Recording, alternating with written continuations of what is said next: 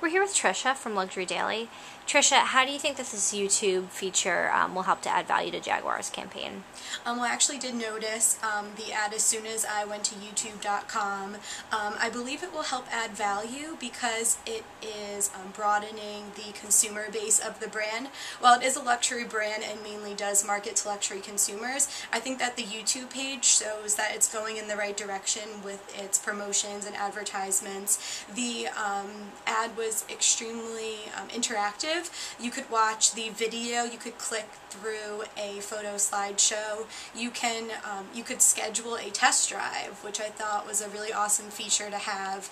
Um, even consumers who aren't luxury consumers will definitely be using that feature, you know, to check out the brand and it could possibly be something in the future. I think it's a great um, tool to market to younger consumers to expose them to the brand as they're young young and then as they grow up and make more money and can afford a car um, like a Jaguar, that image will be in their head and that digital experience will be there.